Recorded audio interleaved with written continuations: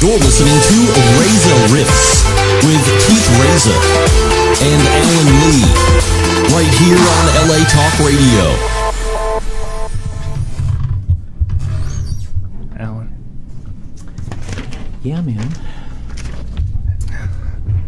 Hey guys, welcome to Reza Rifts. This episode is sponsored by Amy Bricks. Alan, read your thing. You. Hey, Alan, what's up? We, we Well, I mean, rehearsed No. I understand that. I You're understand Alan, that. I'm Keith. I understand it.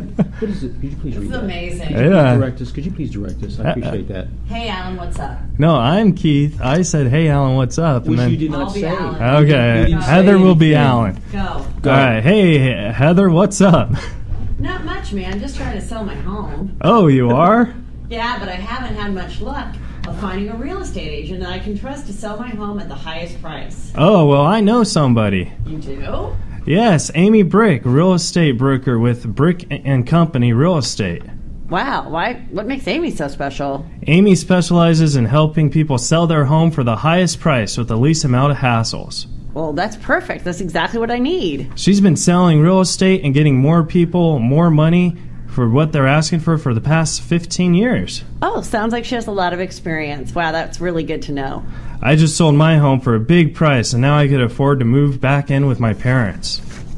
That's great. Will she be happy to talk to me about getting the best price for my home or my loved one's home? Absolutely. Give her a call at 562 335 5269 or visit her on the website amybrick.com. That's Amy, B R I C K.com. Wait, I want to make sure that she's a licensed California realtor. Do you happen to have her California license number? I do. Her California license number is BRE 013588129. She sounds legit. I'm going to check her out right now. Oh, thanks, Heather. Back to the show. Thank you. I love directing that. That's a print. Yeah, that, that was awesome. That was uh that was uh improvised. Thank you so Love much, Heather McDonald. I was a realtor. Oh, were you? Ah. I, I respect Ah. Amy's hustle. Oh, beautiful. beautiful. Yeah, There you go. that's a tough business, right? right? Yeah, it is. It's just it's it's there's two businesses where there's the most rejection. It's real estate and acting, and I have done them both. So I'm just very used to uh, rejection and humiliation. well, uh, I wanted to introduce uh, you to the Rifters out there. We call the fan base that listen to the show the Rifters. oh, clever, clever. Isn't it, though? So, but uh, I wanted to give you like a proper introduction. But uh, so here it is. Tonight on Ra- Raise the Riffs, you've seen her on Chelsea lately. She has a Netflix special, a New York Times best-selling author, and currently the host of Juicy Scoop with Heather McDonald. Heather McDonald is here. Thank you. Yeah. What an intro. yay. Is that a good? That's great. Perfect. I like throwing the New York Times best-selling. I twice. I Yeah. have, I have I like two that. books. Oh, yeah. I wrote. Yes, and uh, it's hard to write a book, um, but you can still get them, and you can get them on Audible. The first one is "You'll Never Blue Ball in This Town Again." It's about all the guys that I just dry humped in LA in the '90s, and the second book is called "My Inappropriate Life," which is about raising kids while being an edgy comic and That's putting right. them in Catholic school. yeah, That's great. In I- my life. Here's a Catholic. I think it's cool that when I, like because New York Times bestseller, that's a really hard award to get, you know. So that's awesome. Well, it, it- yeah, it's based on how many books you sell in a certain amount of time. It's- you got to make it for the week. You have to Yeah. sell so many, and it's it's competitive. You know who you're up against that week or the book that comes out, and uh, it's a nightmare. Yeah. it's really hard. I I love interviewing authors on my show because I appreciate how hard it is to get people to buy books. Yeah. But what's great about the listeners is that most of these books, at least mine are, but many are, are on Audible and you can listen to them. So if you, because most people that are listening Yeah. might not have time to like actually read the real book. Audible. Yeah, that, that's what they But do nowadays. educate yourself and and uh, and enjoy it and That's great. and get to listen too. Do you do the the auto? Like I did, and oh, it was awesome. hor- horrible. Really? Because well, I wasn't doing the podcast at the time that I did the Audible, and I think I would be less hard on myself now. Uh-huh. So you start reading your own book, and then in your head you're like, "Oh my god, this is so great! I haven't stumbled. I haven't stumbled. I'm on a roll. I'm on a roll." And then because it's like a whole nother company that's producing it, you have a producer in there. So every time you stumble, they're like, "Stop, go back, stop, go back." and it took like four nights every night from six to ten p.m. to do it, Oh. and it just, ugh. Everyone will say it's a nightmare, but. If I was to ever do another book and do the audio, I'd be like, I don't care if it's screwed up. Yeah, right. Yeah. Because it might be funnier if it's screwed Yeah, up. like Kind of who like how our Yeah, now Yeah. I know Just- people are like now just- a couple of people that are doing it now that are um, are like, oh, I added You know. stuff or I cried during Sure. it, and it's like I think that makes it more exciting. That's cool. Yeah. The author, Yeah. Mm-hmm. the author's actually feeling her own uh, lines and script and just emoting. But when I first did my first book, they said, um, yeah, we're gonna have we want a professional like reader to do it. wow. you are, a Yeah, and I said, well, then forget it. And then about like a year later, they're like, okay, we'll Sure. now have you do the voice. Yeah. I'm like, you understand? Like, I'm Sure. like TV personality. Wouldn't they want to hear my voice? Yeah. And um, the few Audible books that I've listened to that are like done by professional readers are so weird. Yeah. Like there was this one about this hooker. I love books about hookers, and um, I do too. Actually. Oh, like like a high class hooker in Vegas, and the way the girl was so ridiculous. She was like, "My stiletto heel slips out of the cab as it hits the pavement of the Bellagio. I'm excited for a while. Like it's ridiculous. I was like, this is." You're taking me That's out of it. You think you're putting me into it, but it's so put upon that I would have much rather had the real hooker just be like, I stepped my stiletto heel out for another night of boning in Vegas. Like, just tell the truth. Yeah. Yeah. I like the ones with the more man, man like the more character in it. Like Yeah. uh, like uh, Tim Curry used to do the a series of unfortunate events audio. Oh, okay. And he used to like change his voice for every character. Oh, that's cool. yeah, and that's very hard because I don't know if you've read those She- books. There's she- so many characters. she does character work. Yeah.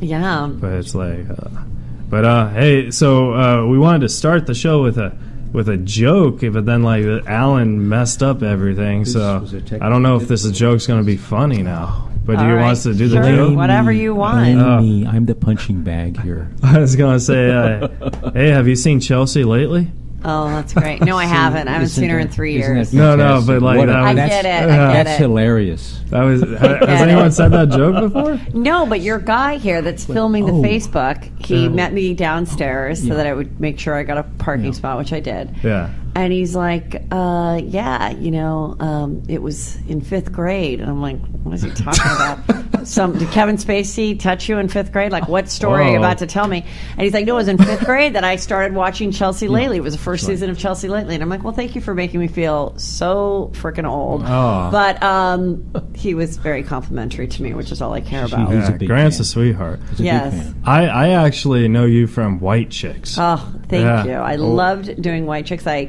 they I worked on writing the Yeah. script of White Chicks I- with Oh, the did you? Wayans brothers. Yeah. I told Oh. you. I told you. Yeah. I didn't know you wrote it, wrote it though. Yeah. The writer on that. They they had you- already sold the concept of the show and Yeah. had like you Mm-hmm. know kind of the beats of the script, and then I was one of the writers that contributed. Yeah. Oh. And um, and I remember my dad was saying they've got to hire, you know, because I'd worked on another project with them, and I'm like, oh my god, they just sold this thing called White Chicks, and my dad's like, well, don't you think they need an actual white chick Yeah. on the writing staff? And I was like, yeah. And so it was such a funny idea, and it was so much fun, and we'd go to Keenen's house every day and uh, sit around and write this script, and it was just amazing, fun, hilarious time, and then. Uh, I wrote I wrote a couple scenes, but one scene that I wrote was about a sales girl, and then they cast me as a sales girl. So I got to Oh, how fly up cool to is that? Canada and and be in it too, which was really really fun. So now it's like that's like a cult favorite, and now younger kids are discovering it, and everyone always talks about would there be a second one, and Wow.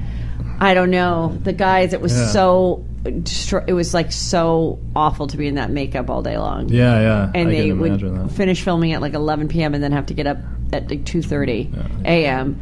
to start getting in the makeup all over again. So I think that's why they've put it off. And now I don't know. You know, Marlon mm-hmm. has this show coming back as NBC show. So mm-hmm. I think it's one of those movies where like I don't think you should make a sequel to it. you don't. Yeah, because it's so like there's cult. Uh, I consider it a cult classic comedy. You know I Okay, mean? cool. That's and, awesome. And like I considered the very uh, first scary movie very cult Hilarious. classic. Yes. And uh, you know, of course, the second one I thought was funny because they had Tim Curry and David Cross, and I love Yes. those guys. But I, I still liked the first one way better. But then after the second one, you know, It- it the, got killed. Actually, Yeah. the Weinstein brothers uh, screwed them over. Ah, Um, He seems to do they that didn't to actually, everybody. Yeah, they didn't screw them, screw them, but they. He was also like he has a horrible reputation for being like a, Yeah. an asshole in business, Mm-hmm. and um, I don't know the exact story, but basically, I think they got kind of fucked, and then somehow they then took the franchise over, and then they they separated themselves. So the Wayans did not write any more scary movies after two. Yeah, but So it was a different group of people, and that's why they were like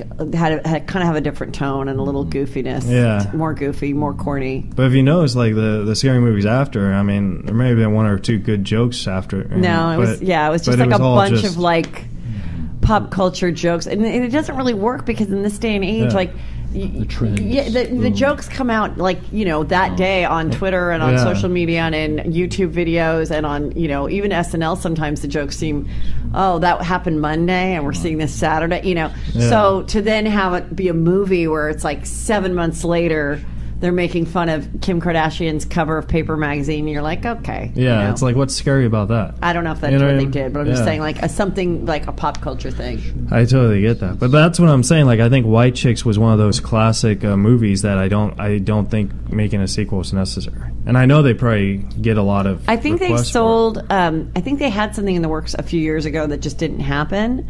But I have a great idea for another. Yeah. But then sometimes I was, I was talking to my friend and and I do think it's okay now. But like last year with um, you know the awareness of transgender people, um, you know coming out and the sensitivity to it and the way of addressing it, I was like, oh my god, I don't know that we would have gotten away with white chicks. I don't know if someone would have seen it as somehow not being what it was, which has been there's been a history of movies that we actually watched in writing the movie, like Tootsie and Some Like It Hot, where men have to dress up like women to Yeah, to get to a goal or figure something out. And um, that's an interesting. so point. it, it's not. But I'm like, God, in this hypersensitive world, does anyone? But nobody really has. So I think it would. If they wanted to do it, I think there's a fun way to do it. Yeah. So Yeah. So another thing is like that I like is when this whole uh, Harvey Weinstein thing happened. You went on Fox and said that late night shows aren't really making jokes on him; they're making jokes on Trump. And I thought that was really like as a comedian, I really like that because not a lot of very comedians will be I- daring like that. amazing, You know what I. I mean? couldn't- Well, I, I, the Hollywood hypocrites are my worst, Yeah. and I'm the last month has been the greatest thing that's happened in 2017. I love that the, it's just people are telling. I love that we're realizing how disgusting and gross. And all these assholes that have gotten away with this shit for years There are just go. scrambling and Yeah. losing their deals. I love every second of it. Beautiful. And I, um, you know, and I, I don't know that, you know, and, and when, when, um, when Trump won and it's been a year and that we know that he's going to be the president, you know, the election happened a year ago and, Right. uh, people were, you know, women are just like, oh my, you know, I think if you want to look on a positive side, which nobody ever does, but I'm saying, I think that maybe women having such an, a, a strong fear about Trump being in the White House is what propelled them to speak up and That's it. talk. And I don't think Yeah. if I think maybe if Hillary was in the office, we would have been a little complacent. And That- we would have been like, "Wow, we've made it. We can lay back on our laurels." Laurels, but instead, it was like, "Holy shit!" You know, Planned Parenthood is being closed, and these things are happening, and and women are just like, "I'm freaking telling." And so I think maybe be grateful for the situation because I don't know that we would be here today, or I don't know that the you know these Hollywood elites that are all Democrats. Maybe it would have been squelched. I mean, Yeah. you know the latest thing with Weinstein? What has happened? No, no. The latest thing that's came out, Ronan Farrow wrote another amazing article for the New Yorker, and basically Weinstein and his attorney hired this private company that's like a private CIA that are these Israeli op- operatives or something that um, basically like a Ray Donovan kind of thing. Wow. So these these people go in and they um, this woman had a whole fake profile, pro- fake fake life, fake like social media, and she reaches out to Rose McGowan, and she um, she's like, "Oh my God, I you know you're so amazing. I heard you have a book coming out. This is a year ago, Right. okay? I heard you have a book coming out about you're going to you know talk openly about sexual harassment and assault in Hollywood, and I'm head of some woman's corporation or whatever. You know, they meet three times." Rose McGowan and this woman, and Rose McGowan was thinking she's meeting someone that's like I don't know, going to share her story or book her for speaking engagements. I'm not sure. The whole time she was reporting back to Weinstein Oh. about what the book is going to be about and all the private confirmation, you know, conversations they had. And so Rose McGowan's like, I feel like I'm in like a house of mirrors. Like I don't know who to believe, but it is all that stuff, all those Yeah. things that you hear about powerful people being able to pay for a. Um, you know, a, crisis PR management team to like squelch stories and say, all is true. Wow. It all exists. There you Yeah. There you go. Where they call up and go, don't run that story. You know, um, I'll get you Laker tickets. I'll put you on my jet. I'll. It's all. Sure. Yeah, it's all about yeah, the money. Yeah. So and the power. And the and power. the power. And the Yeah. power. Sure. You know, it's it's about the power, and there's some things that money can't buy, and right. that is the power. Yeah. You know, like the way uh, Weinstein got his wife to, he bullied these actresses to have to wear his wife's dresses on Oh, the red carpet. He said, "I'm going to pull the publicity fund for your movie if you don't wear my wife's ugly dress, Felicity Huffman." So she had to wear it, ouch. and they weren't that great. Yeah. He Here really you liked finally, those dresses. yeah, you finally get to the you know the Oscars, Sure. and you're like, really, I can't wear like what I want to wear. I have to wear, Well, That's- you want to wear that's- yeah, yeah, that's- and that's she, uh, yeah, and so I I just go. love that it's all being exposed, and I don't. I will be very interesting to watch the Wow. Oscars and to see if anyone even gives a shit because I think. Oh, can I say bad words? Yeah, yeah. Oh, no. I, I don't think. I just think that Enjoy. people are like. I- It's just it's all uncovered, you Yeah. know, and I think that was part of the reason that mm-hmm. some people were really attracted to Trump because he mm-hmm. also was the mm-hmm. first person to expose Right. the how the fakeness and the money that went in when he's like, I gave Hillary a donation and And- therefore I got to go to Chelsea's wedding. And you can Yeah. appreciate this too. You he, know? had, he had comedic timing. Yeah. I don't. yeah, I Speaking do. I think I think people just were like, I like that honesty. Yeah. Like, That's you right. know, I mean, Sure. Speaking So- of speaking of money, I, I Yeah. I'm sorry to change the subject, but that water that you're drinking, uh, Alan, It's on our budget. Alan Googled you, and he knew that you liked that kind of water, so he's like, "We gotta get you that So kind of she, water." She deserves Perrier. Wait, does it really say some an article somewhere in here? No. yeah. Oh, so because I do like sparkling water. Yeah. I know you do. I know. so like he's like, "We got." I was like, "Oh, all right." So well, thank you. It is a little bit of a treat, like in a glass bottle, and it's yeah, it's nice. You could even mix it with the lemonade. Some classy. I didn't yeah. know you liked lemonade, but I mean, I'll probably I'm, I'm taking them both home with me if I don't finish them during this podcast. I do not let anything go to waste. that we don't have But no, I totally agree with you on the whole uh, Trump thing because uh, when you know he won, you know, it's like we kind of thought the worst person in the world was Bill Cosby, You know? Right, yeah. and now Bill Cosby's Oh, thinking, please. "Thank God for Harvey." Oh, you know, what please. I No, mean? and, and even when, and speaking of that, when Harvey Weinstein first addressed the rumors, he like said, "Oh, they're all they're all lies," and you know, Yeah. but and then he says this whole thing. But if I did do anything, like, um, uh, oh my god, I didn't mean it, or it was consensual, whatever he said. I And at the this. end, he goes, "But then let's all Right. remember who the real pig is, Donald Trump." And I'm Oh, like, my. "Oh my god, like That's a- shut up!" Oh, that's and you know, like the same thing. It's like Kevin Spacey being like, "Oh, if I molested this kid, maybe I did." Um, but I also want to say I'm a proud gay man, and then the gays are like, "Really? this is the time you choose? Like you admit to being a fucking pedophile, and then you say, by the way, I'm gay too." When then is the biggest that's- thing that should never be associated. nice- the two do not go together. nice they have nothing to do association. with each Yeah. other. Thank you very much. Yeah. Uh, I think he tried to like slide through Yeah. that pedophile thing. Oh, you, it. the, Yeah. you're the latest. Yeah. He- he Wait, a, a- right. another person just came out against Kevin Spacey today. Oh, who? Well, you're updating us. Oh my god, it's so I wanna just hear never this. stops. This um, this woman just gave a press conference about her Yeah. son who was sexually assaulted by Kevin Spacey Oh, at boy. a at a bar club restaurant thing a year ago. Whoa. And he was only 18 and he Oh, boy. Mm-hmm. grabbed his genitals underneath his pants and he was totally traumatized Oh, and and was feeding him all these drinks and luckily this woman at the bar saw it and went up to him when Kevin went to the bathroom and Oh, was God. like get the hell out of here. That's- that's and so they've now filed a police report. Wonderful. And Yeah. um he's done. I Yeah, can't- the last thing I heard about Kevin Spacey is they interviewed a lot of his former co-stars, Mm-hmm. and he did this movie called Twenty One. And someone in the movie said, you know, come to think of it, Kevin always thought the movie was called Twelve. Oh. Uh, ha, ha. So, I like, like yeah. that one.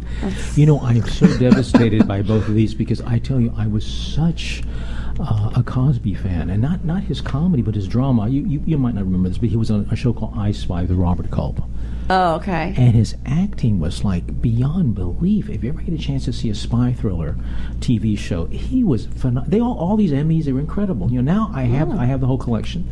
And when I'm watching it, I swear to God, at the end of the show, I go, what's he going to do at the end of this episode when he goes home?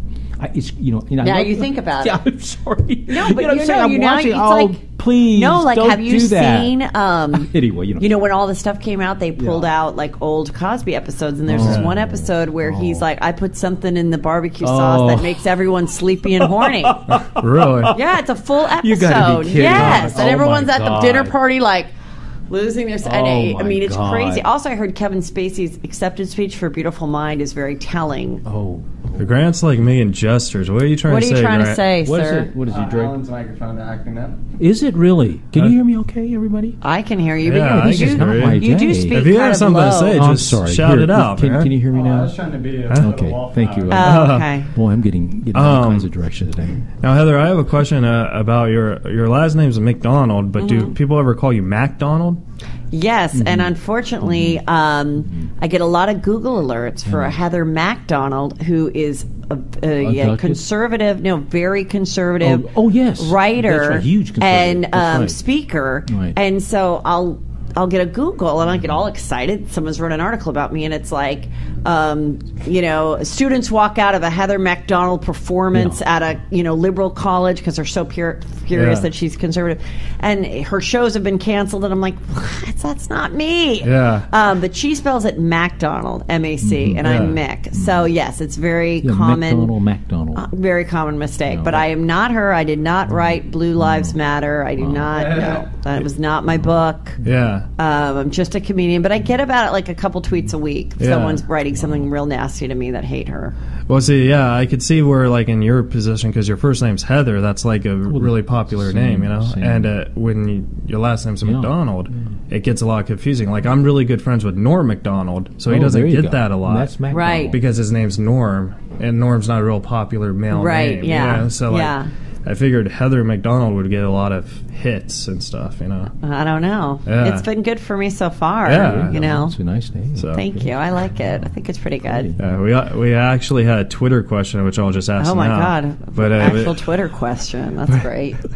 but it was like, but it was funny. It said, Heather, did your uh, dad work on a farm or own a No, farm? he did not. Yeah, no, it was Ronald, my brother's not named Ronald. But when I was a little kid and I'd get made fun of, I would tell my my mom, like, everyone's making fun of me about my last name being McDonald. And my mom said, just tell them your father owns McDonald's. There you go. Yeah, And I said, oh, exactly. "Oh, my dad owns McDonald's." For, for about a week, I was the sh- I was just the That's- shit. And then this kid came to school and was like, "My dad says that they're separately owned and it's a franchise." and I was like, "Okay, sh- well, no, we don't own McDonald's. It's like, no way to- relation to the way to McDonald kill her. brothers." Though I did love that uh, movie. That was a really interesting movie that came out last year with um, Michael Keaton. Michael Keaton, yeah. and you know how McDonald's got started and stuff. It was it was really well done. I saw it on a plane recently. I'm also less critical of movies when I see them on a plane. oh, because Me you're like forced to watch it. And I don't know. can't I think you're like buzzed, and you're like, uh, like I'm the least critical on a plane. I'm the most critical if I went and paid for it. Oh it. yeah, there Yeah. you go. Me too. And then if I'm watching at home, it's like whatever. Yeah, And everyone's like now pirating movies though. So like, I don't think people go to theaters anymore. I haven't gone to the theaters. I if I go to like sometimes I get invited to premieres that I can go to with my kids, so we'll Uh-huh. go then. But it's so rare that we go to a movie now. And if we do, then it's like I want to go to the fancy ones where you can Yeah. order the drinks and have Yeah. the blankets. Oh, and then those have are a waiter amazing. like give you. Yeah. like, yeah. Those are and the ones are with the seats down, they they go up and raise Right, your feet. uh-huh. Like a, yeah. I like those.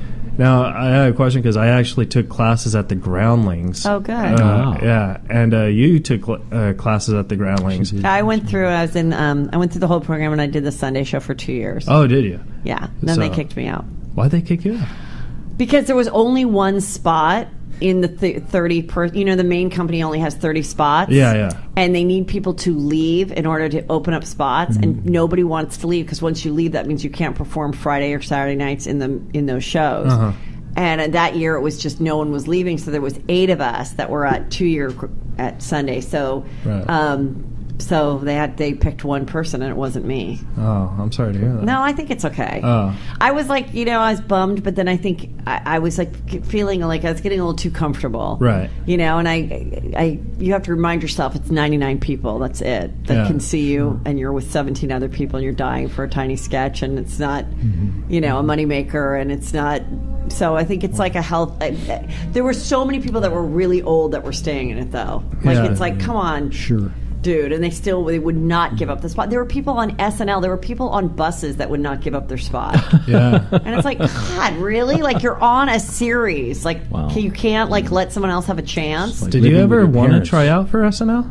I did. Tr- I, Oh, I you was- did? Well, my story was I um, I did this pilot for a sketch show called The Lyricist Lounge on MTV, and it was it was like um, kind of like a Living Color, but we had that it was urban. I was like the one white girl, but then they had rappers actually s- rapping sketches, Right. and then they had a couple other regular comedians, and we kind of like combine it together because um, so I shot that pilot and then I put a little reel together and we sent that to SNL and they were like, "Great, we'll see her."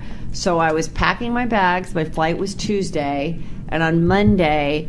MTV picked up the pilot, and so therefore I could not audition Oh. for SNL. Is that? And then after that, I was like, I got married and I had a stepdaughter, and there was no way I could really go to New York anyway. So I Yeah. never applied again. Oh, that. No, it's- you I know I could have been Kristen Wiig, but look at me now talking to you guys.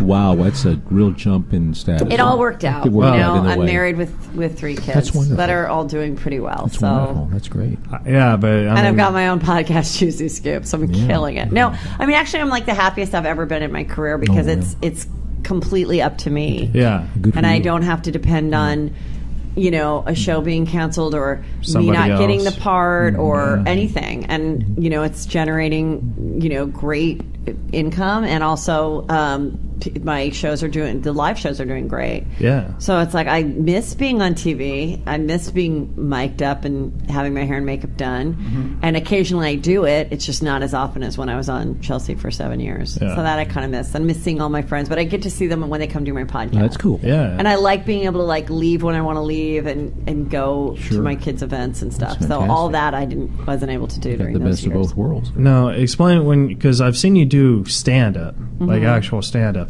But you said you do your podcast live, so like Yeah, I've been doing live Juicy Scoop podcasts, which are really fun. Uh-huh. So this one I just did that was sold out in Hermosa Beach. I had Ross Mathews be my co-host the whole time. Oh, nice. So you know, I did. Def- I definitely spent you know several hours kind of preparing what topics we were going to do. Right. But we have such a great chemistry. It's it was great. It was hilarious. I thought I think it was one of the best ones. And then this um, coming up November sixteenth, Thursday, I'll be do- in San Diego doing one at the American Comedy Company.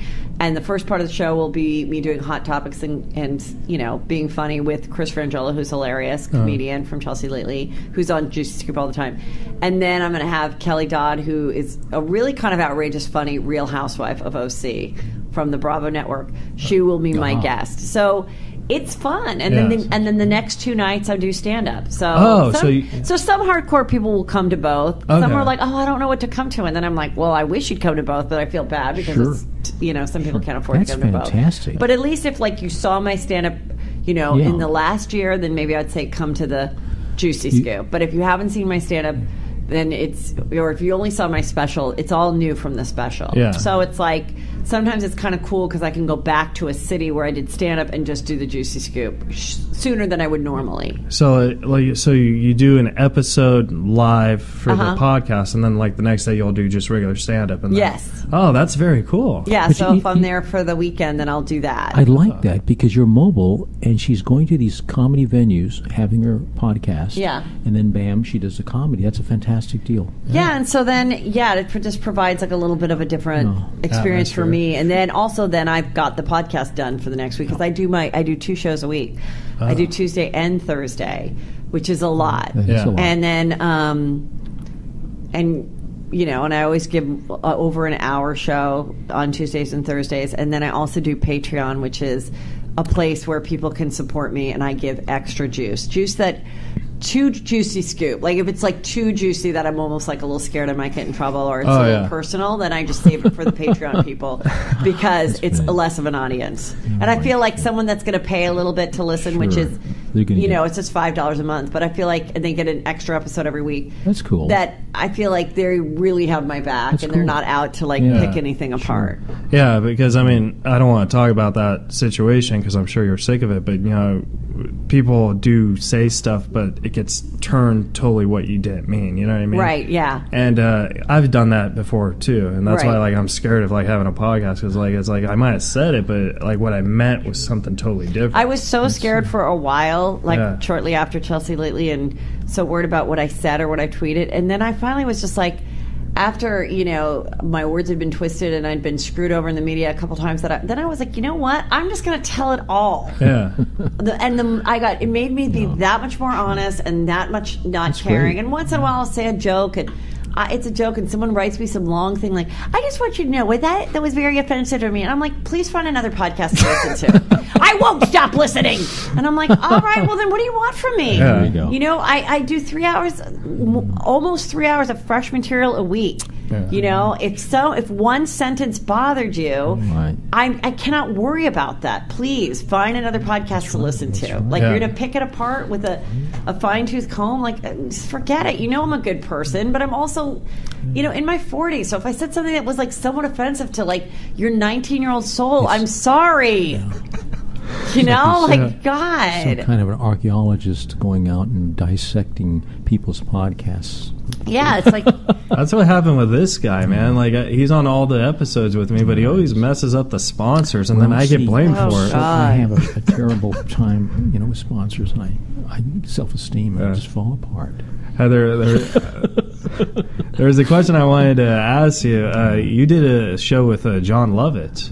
Uh, wa- was it like? Oh my T- God, that was a few years ago. What did I do? A Oh, podcast? oh what did I do God. with them? I don't. I just. I did I do a. TV show with them? What are you looking at? It said Lovitz or Lovitz. I think it was like a podcast thing. I- I, something. th- I did his podcast It- once. Oh, Yeah. there you go. Yeah. So I wanted like to a few ask you years that. ago before like you know podcasts were as, as popular but yeah, I wanted to ask you that because Alan Lee has a John Lovitz like he like they Tell don't me. like each You know, other for some reason. no, no. no. See, well you're both like equally odd so you I appreciate that like, you hit it you off. caught you caught all this chemistry.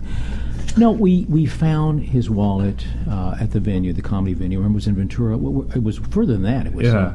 You know, Alan found his wallet, and uh, Okay. so like there's like three thousand dollars or something in it, like cash. cash and just at what at the Ventura Comedy Comp like the, yeah, he the left Harbor it. He forgot it Oh. or something. Yeah. And you went in the show after him Yeah, and, and, so found we, it yeah And we were we we went all the way to the Beverly Hills uh, hotel. You know, Because that's what his ID said. Yeah, he lives at the Beverly Hills Yeah, Hotel. in that, and so Yeah. we call him, and the, uh, the the concierge says, "Don't worry, he comes in, he'll be there." And so we wait there for like about two and a half hours, three hours, right? Yeah. And the concierge, says, "Hey, listen, just leave the wallet here." He he basically said he doesn't care. He's glad you didn't take the three thousand, and thank you.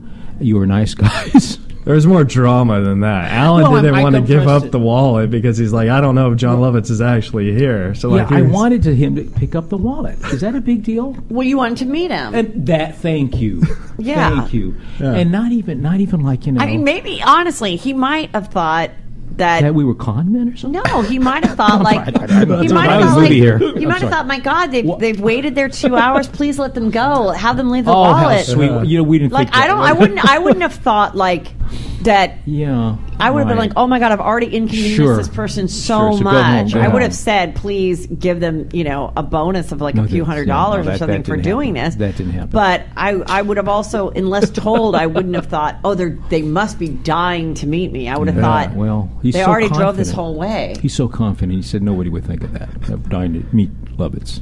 Some people don't want to meet him. Quite frankly, remember what the other I- I think said? so, too. I Someone think said, "I don't want to meet him." He he's fine. He's just like he's like just a little he's a little, He's a little odd. weird. A little Yeah. weird. He's a little weird, Yeah. like where you don't know, like, do you hate? I do you Sure. hate me or Yeah, I do you think I'm This cool? I don't know. There Yeah. it is. You're Yeah. the second one to say that. Yeah, so this podcast. I just thought it'd be funny to bring up that story with you. well, I got hope your, your I hope she found it on that. entertaining, and, and I hope that she you know Yeah. she found this entertaining. I can tell that. Yeah. like what? Like what's your juicy scoop advice on that? Like, do you think he shouldn't return the wallet next time? Oh, I don't know why. I mean, it was you that wanted to go and to, if it was in the club, why wouldn't you have told the manager that he left the wallet? He obviously just had performed there. I think it's and kinda have weird the the man club- and the manager yeah. would have had his phone number, Yeah. and he probably would have turned Well, right told around and gotten we it. told Yeah. him we were bringing the wallet to him. That's true. Well, Okay. enough uh, about John Lovitz, but Yeah, well, it's just a little. Ask her about another strange person. Oh, Grant wanted me to ask you about Brody Stevens because Oh, we're yes, friends he with was Brody. on our show. We loved him. He's so nice. Yeah, we cute? love Brody. Eight one eight till I die. Yeah. Um, born and raised in the Valley yes, myself, yes. so I appreciate his Reseda roots. yeah. and he was he was really great. He was our warm up guy for many years. Ah, yes, that's right. And and um, you know, he's a little bipolar, so he kind of had a breakdown one day. Right. and it was just it got a little bit weird, and it made us feel uncomfortable, and so. Mm-hmm. Um, and then he sort of like yelled and quit, and he like walked out. And we had another show, we didn't have a warm. Yeah. Something like that happened, and we, everyone has since made up. But Yeah. you know, it was sad because I felt bad that he that he lost the job. But at the same time, if you freak out, you know, it's and you've got uh, hundreds of people in a, a studio, you really can't behave like that. So, but See- I, it all worked out, right? But Yeah. there was an episode you recall where he goes back and uh, knocks on Chelsea's door. What, what's that show? Uh, He did- help me out. He did the show where You he know. did it with um. HBO picked it up and then It was um. Central. Yeah, Zach Galifianakis kind of Yes, uh, produced it. it. And it was sort of like his Thank like you. His little reality show. Yeah. But in that, at the end, he freaks that- out yeah. and blows it, and it's like blows it. That know, was and sort of funny, I thought, that's in a way. Yeah, but here's the thing: like I- you think that like you know. Uh, People that have anger management problems or a little bipolar, like make for great reality stars. They do until they're screwing up production, Right. And Mm-hmm. at the end, it added something, but at the same time, I think they probably were like, I mean, maybe it was a ratings thing, but I think they were like, you know, it's just too difficult Yeah. To do. Drew. You've got to still be really professional and show up and like be a delight and wear your mic and not complain. And not that he was doing that, but I think when he had that frustration at the end, maybe it just didn't work out. I thought it was fun. I loved watching that show though because Alan- I know him. Yeah, I know. Alan's saying I have to mention the sponsors again, but About uh, Amy, wait, I just I just wrote a little something for the middle part. I got did this you- one, Alan. Did you want- Okay. oh, did you- it's Amy Brick, you guys. Amy so- Brick is got 15 years experience, and she is a realtor, mm-hmm. and she's out to get you the best price for your home in the shortest amount of time. She knows how to market it. She knows how to get the job done, and she's got the money to be a sponsor on the show. So she's obviously successful. That's fantastic. So I suggest not if you're looking to sell your house, meet with her. Definitely have her be one of the realtors that you meet with And and her see what she has to say. It's always good to meet with a few people. And this is from an artist who knows real estate. yes, former realtor. I do have to mention her thing because she's like, you have to mention the Okay. ID every time or, or something. Her license. Her license number is that like a thing? Like you? it could must really- be. yeah. It must be as as a realtor. You must have to um, give your license if you're doing Yeah. a, a Yeah. broadcast. Okay, well, her license for Realtel is a zero one three five eight one two nine. AmyBrick.com and her number is 562 335 5269. Nice. Yeah. Call her. See Call what her her. house is Call worth. her. True. But uh, the thing about Brody Stevens, like I, I, I really do like him, but and I, I want to move on from the subject, but like I think he has Asperger's syndrome because I have Asperger's Uh-huh. syndrome, Oh, interesting. and I do that stuff sometimes. But like I, I don't, I don't consider you know Aspie's bipolar. It's just like when you get frustrated and things, you know, it's like uh, Oh, I, I don't always know. I don't know what he had, but he had a, a bit of a breakdown. Yeah. So it might have been a little combo of a few things. Yeah. You know, I mean, it's good that we we acknowledge uh, that we know more about that Yeah. stuff, which is really important. yeah. He You likes know, his 'cause- coffee at Starbucks at Laurel Canyon. He's he's great. He's the Isn't nicest. He's the best. he Okay. really is. He really is funny. Go a see he he's and he d- does stand up all the time. Yes, Come Yeah. see him We've in watched LA. him many times. He was on our show. Yeah. It's wonderful. Well, we, we have a couple uh, Twitter questions f- Oh, uh, for you. Do, do, do Sure, you like Twitter questions? Well, like any question. Uh, Go. A lot of people don't like Twitter questions because you never know if they're real Twitter people. I don't True. care. You know what I mean? Just ask the This is a- question. a- Okay. She's a trooper. But we'll start with a serious one first. Uh, Uh-oh. this is from Pauline Murphy. Uh, any experience as a female comic when it comes to professionalism and balancing sexuality and how to regain confidence for women in the industry? Do you have any tips? The, well, first of all, it is the best time to be a woman in comedy. Yeah. Um, however, it is a male driven uh, business for several reasons. Mm-hmm. One is you're out by yourself alone at night, okay, which is just dangerous. Yeah. And then you've got to, you, no matter how creepy the comics are, you probably should have one of them walk you to your car. Mm-hmm. But then when they're walking to your car, oftentimes they they're because they're you asked them to walk to your car. They think they have a shot. Guys have an amazing amount of confidence that the minute you talk to them, they think that you want to fuck them, and you don't. You just don't want to be fucked by a, a homeless person, Right. And a lot of comics are homeless, but this is not who, what you want. There's So you have to be firm about it. You have to go look.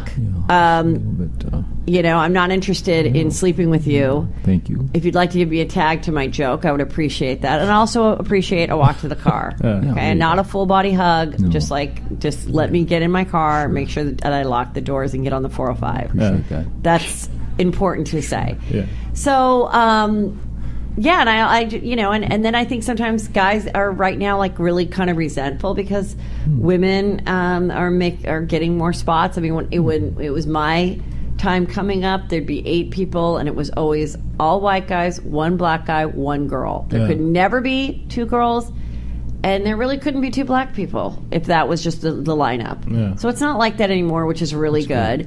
So the white man has been very put upon. This has been the hardest year for the white man in the history of the world, and that is the truth. Yeah. And and like you know, Public enemy number one. There you go. they are, and and so we're evening out the level level the, leveling the field, whatever you call it, Playing field. playing field. Yeah, and I'm raising two white males, and I said, nice. yeah, you.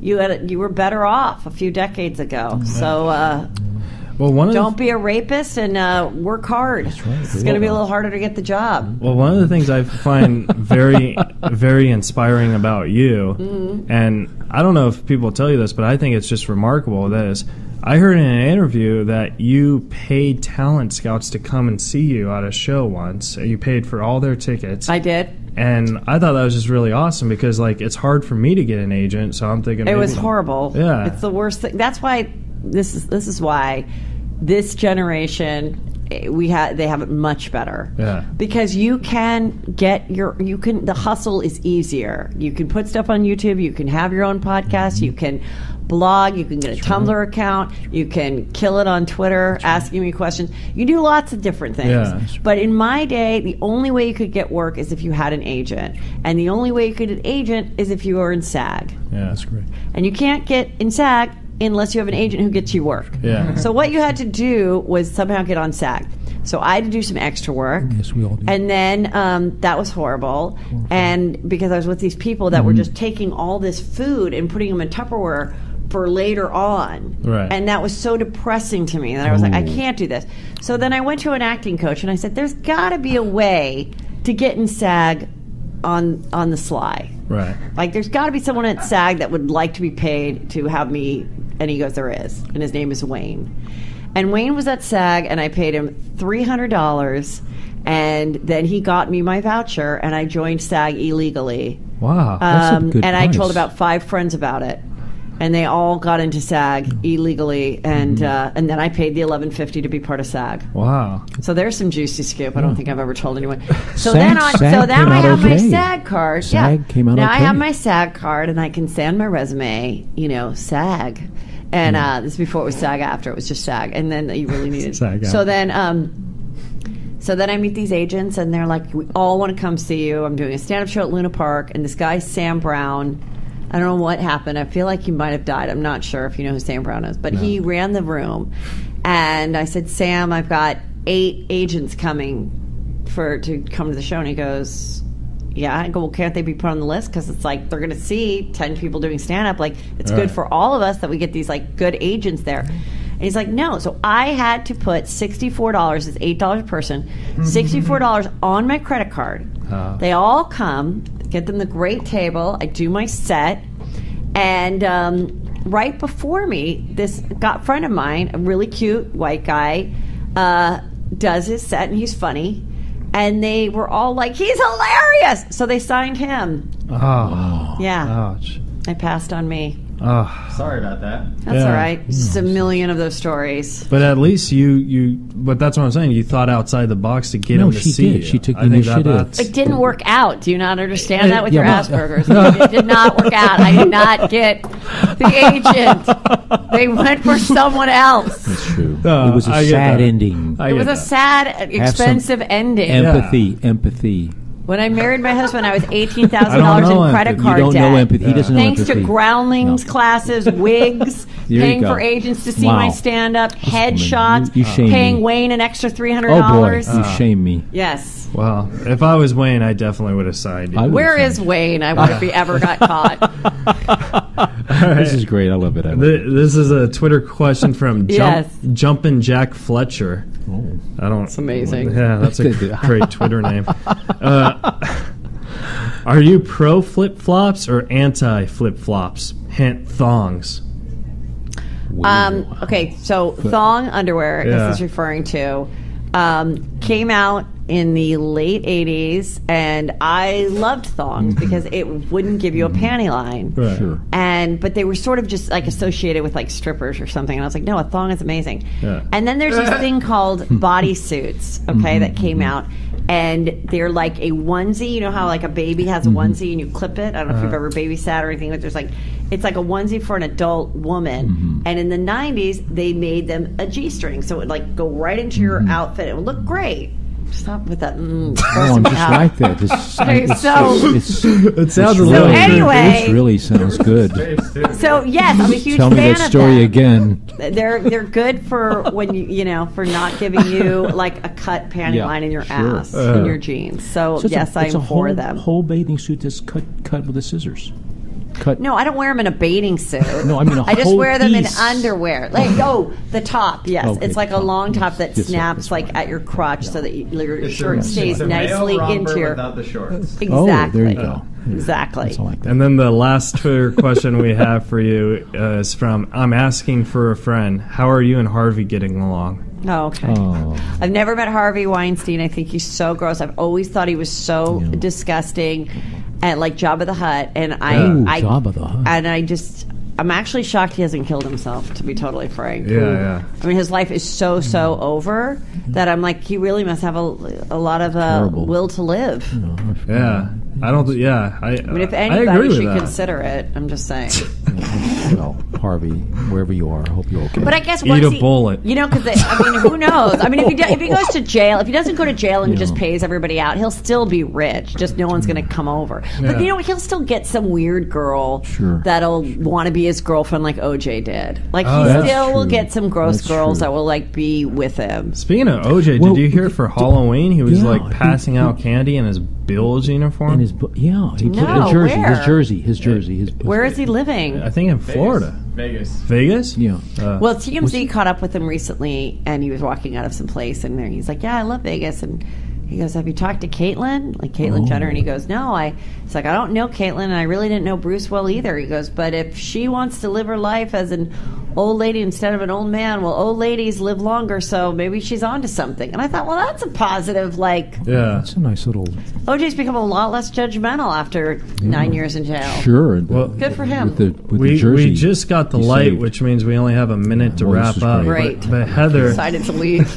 No, Heather's gave But- us a, an amazing yeah, performance. but Heather, you're going to be doing uh, so the much. podcast and stand up at the American Comedy Club next Yes. week. All right. Yeah, next week, November 16th in San Diego. Okay. 16th is the Juicy Scoop podcast. That's almost sold out, so get your tickets for that. And then the stand up shows twice a night, Friday and Saturday, seven, November 17th and 18th. That's it. Everything's at heathermcdonald.net. Wonderful. So check Twitter, out Facebook, yeah, stuff all, like that. yeah, you just go there and you can get the info for the free podcast and any of my dates coming up in your town. So Great. American comedy in San Diego. Awesome.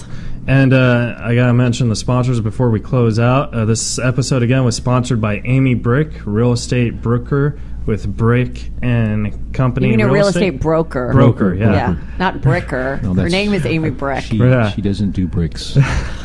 she. Uh, she will sell a beautiful brick house. Uh, brick, there you go.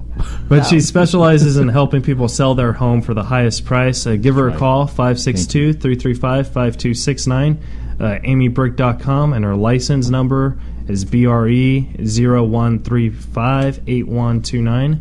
And uh, that was sponsoring us with uh, Heather McDonald, and uh, that's awesome. Thank you Yes, for coming and so thank much. you, I Heather really Thank McDonald. you. Wow, this was a blast. Nice And- meeting you guys. Thank you. Thank and you for uh, my drinks. Of course. And uh, I'll be doing a comedy at the Rec Room with Namir on November 24th. Namir, I'll be filming my yeah, I'll be filming my Comedy Central audition thing. So hopefully that works out. Uh, rate the show on iTunes and subscribe on that and all that stuff. You know, tweet, tweet, all okay. raise the riffs. Beautiful, Heather Thank McDonald. You. Thank, Thank, you, you Heather McDonald. Bye. You're listening to Reza Rifts with Keith Reza and Alan Lee right here on LA Talk Radio.